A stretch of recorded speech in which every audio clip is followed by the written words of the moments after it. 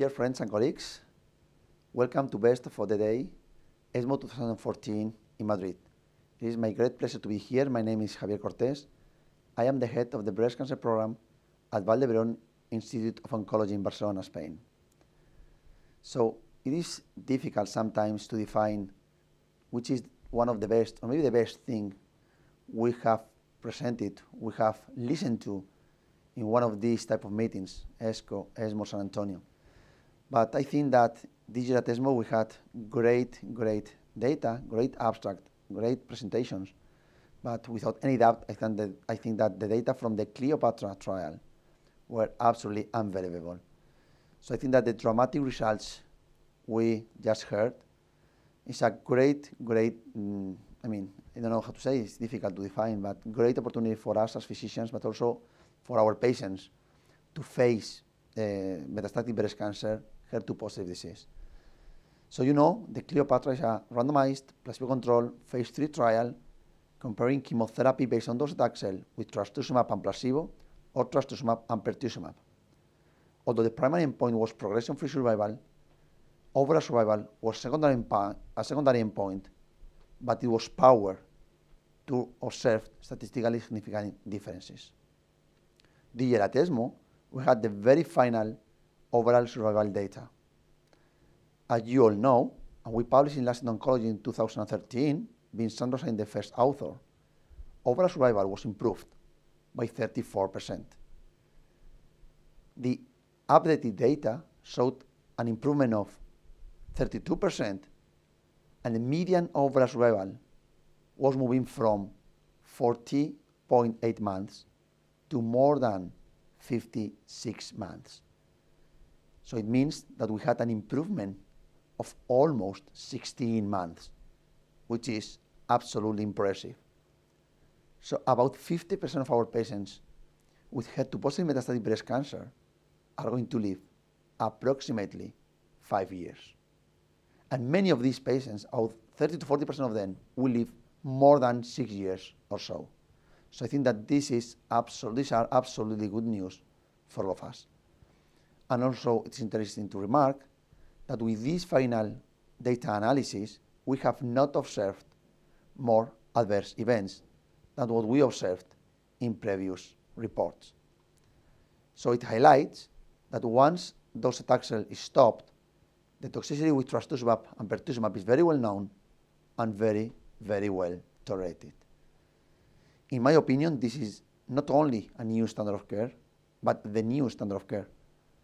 And I don't know, but it's difficult to say, but I think that this is maybe the main important data we have had in the history of metastatic breast cancer. So let's see if in the future immunotherapy can improve the impressive results we had with pertuzumab when combined with trastuzumab.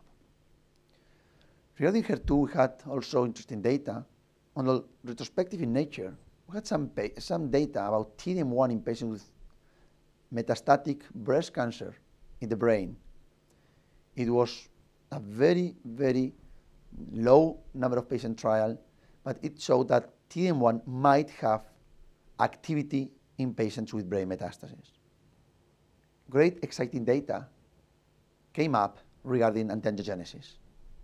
Three very interesting and important clinical trials were presented. The first one was the Resilience trial. This was a randomized phase 3 placebo-controlled trial in patients with HER2-negative metastatic breast cancer, and they were randomized to receive capecitabine with or without sorafenib. Patients who did not receive sorafenib received placebo. Primary endpoint of the trial was not reached. So unfortunately, sorafenib did not improve PFS. Toxicity was a little bit higher in the sorafenib-based arm. I think that this was a little bit unexpected based on the great data we observed in the randomized phase 2 trial published by Jose Baselga and colleagues in Journal of Clinical Oncology. Patients who received in that trial sorafenib-based therapy achieved an impressive improvement in progression-free survival, but toxicity, grade 3 and 4 events, were absolutely high. That's why in this trial, the resilience, we had to decrease the dose of sorafenib, maybe being responsible for not achieving such a great results. On the other hand, we have the trials with bevacizumab, two very interesting trials, the TANIA trial and the IMELDA trial. The TANIA trial is a randomized trial in patients who received bevacizumab in first line and had some benefit. And we wanted to demonstrate if we can improve survival or if we, if we can improve progression-free survival, but also overall survival as a secondary endpoint in this group of patients. So patients basically were randomized to receive different approaches with chemotherapy, with bevacizumab, or not, only chemotherapy alone. In patients who received bevacizumab, they were, or they had the opportunity to continue on with bevacizumab in the third line, and patients who did not receive bevacizumab did not receive bevacizumab in third line. So secondary endpoints of the trial wanted to address if progression-free survival after second and third line were also improved with bevacizumab, and if we could observe something in terms of overall survival. The primary analysis of this trial was achieved. Patients who received bevacizumab-based therapy after bevacizumab improved progression-free survival. The hazard ratio was about 0.75. So again, this is the fourth, the fifth trial. We had the ECOG 2100, the AVADO trial, and the RIBBON 1 trial, in which we observed an improvement in primary progression-free survival data. We had also the RIBBON 2, demonstrated that in second line, bevacizumab improves outcomes. So today we know that in patients who receive bevacizumab in first line, continuing bevacizumab in second line could be a good strategy for a subgroup of patients. But in my opinion, the great, great results from anti-angiogenesis came from the IMELDA trial. This trial was presented as an oral presentation by Joseph Gligorov from Paris, and they wanted to demonstrate if in patients who received docetaxel plus bevacizumab and had a clinical benefit rate, they were not progressing, we could maintain bevacizumab alone, or we might improve outcomes when we continue with bevacizumab, but in combination with capecitabine. So basically, the design was simple. Patients who were up to six months with docetaxel plus bevacizumab were randomized to cap beva or beva alone. The results were absolutely unexpected. We observed an improvement in median overall survival but about, by about 10 months. So these data, in my opinion, are, are exciting. Of course, we can discuss that maybe the sequential use of good chemo strategies, docetaxel followed by capecitabine, could be the reason why we observed impressive results in terms of overall survival, and th this could be a, a, a, good, reason for that. But in my opinion, also, if, if we take into account that docetaxel plus bevacizumab did not improve survival, and with this strategy we did, it might say that maybe if we optimize the way we give bevacizumab-based therapy, we might have advantages in terms of overall survival. So I think that this opened a new window of opportunity for all of us if we want to use bevacizumab. I think that this sequential approach will be very well taken by the physicians and by the patients. So one other very interesting approach was the clinical study done by Fabrice André and colleagues, also from France. They wanted to determine differences between the primary and the metastatic sites. And one of the most impressive results were that in patients with, metasta with metastasis, the tumor infiltrating lymphocytes was much less important than in patients with primary tumor. Many of these metastases did have less than 5%. So it was very interesting in terms of designing new clinical trials with immunotherapy. You know, all these CTLA-4 inhibitors like ipilimumab or tremelimumab, the anti-PD-1,